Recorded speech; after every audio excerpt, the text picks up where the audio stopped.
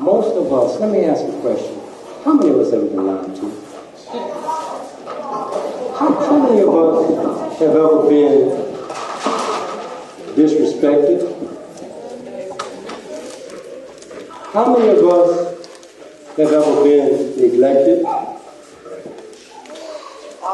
How many of us have ever been abused? How many of us have ever been disappointed? We have a world that could make a laundry list of things that have happened to us that are negative, that affect us in a very negative way. And the heart of a human being is the most sacred thing, the seat of the emotions. The heart of a child is pure, as if there was nothing written on this piece of paper. The heart of a child is pure. And if this were the heart of a child, it comes into the world with no stain and no blemish. But as soon as we come into the world, what happens? Lies, disappointment, violation, abuse, disrespect. And over time, we have a defense mechanism that begins to form around the heart to say, you know what? Daddy said he was coming to pick me up last week and he didn't show up.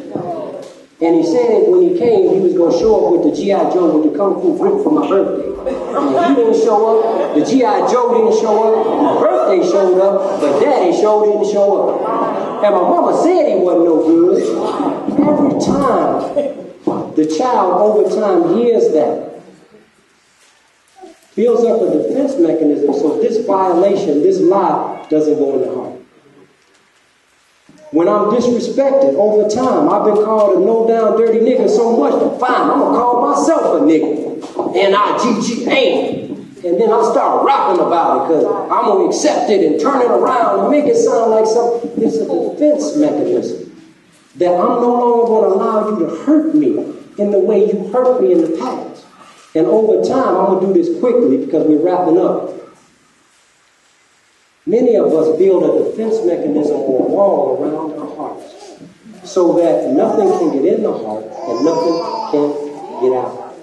But when we reach a certain point in life, all of these things that go into the heart, see, the heart, the child wanted one thing and had one agreement to give love and receive love. But anything that comes into the heart that is negative, that child experiences it what? hate. So we have a heart that is heavy with what? And Jacques said, you know, I'm sorry, not Jacques, but um, our sister, I'm sorry, Pat, our cancer survivor, said, I had to learn how to do what? Anybody, not just love, I had to learn how to forgive.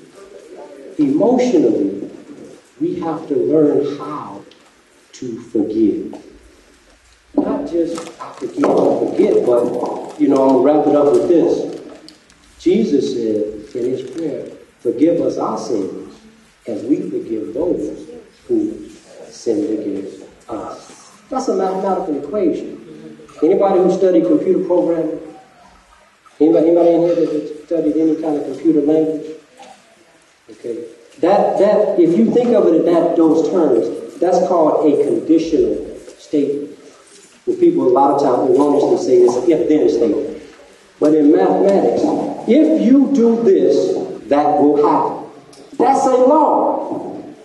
If you forgive others, your heavenly Father will what? Forgive you. Now the problem I got is not the people who did this to me, because they dead and gone and went about their business and ain't thinking about me no more. My problem is the fact that I still have the memory and the hatred and the reflection of all this stuff that happened to me in my heart. And when I get up in the morning, instead of thinking about God and His Word, I'm thinking about what somebody did to me. And this reflection in my heart is what's causing me problems and what has me locked up. And so Jesus said, Well, you know, I got the power to save you to let you off the hook. But if I'm going to do that, then you have to at least give to another human being what you're asking me to give to you. So forgive others, and you will be forgiven because you got somebody else on the hook. And as soon as you let that person, as soon as you let mama and daddy and your uncle off the hook I'll let you off. But you gotta at least be willing to do for another human being what you're asking me to do for you. I did say love your brother as yourself.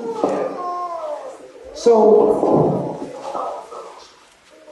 if I forgive men, see forgiveness, to forgive is to give someone a gift before they deserve it. To forgive someone is to give someone a gift. Y'all, excuse my handwriting, I'm trying to write fast. To give someone a gift before they deserve it. Because one of the chief attributes of God is beneficence, and beneficence means He who set things in your path that you would need. He provided for you, he gave you water and shelter and food and everything that we needed. And we didn't deserve it. We don't do nothing for it. And that attribute is in you. So God says, if you want me to give to you, then you give it to somebody else because you don't deserve it and he don't either. But I'm willing to give it to both of you, but show me that you at least following me a little bit Show me that you're willing to do for somebody else what you're asking for me. Because if you won't do it for somebody else, then obviously you don't.